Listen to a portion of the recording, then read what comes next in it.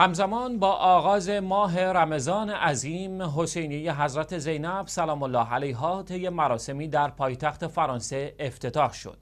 در مراسم افتتاح این حسینیه در شهر پاریس شماری از شخصیت‌های مذهبی و اجتماعی حضور یافتند. این حسینی از این پس میزبان شیعیان فرانسه برای اقامه شاعر حسینی و برگزاری جلسات سخنرانی و مراسم مذهبی در مناسبت‌های مختلف خواهد بود. حسینی حضرت زینب سلام الله علیها در راستای تأکیدات و رهنمودهای آیت الله العظما شیرازی دامزلو مبنی بر نشر و جهانی سازی فرهنگ و آموزه های اهل بیت علیهم السلام افتتاح شد و فعالیت خود را آغاز کرد.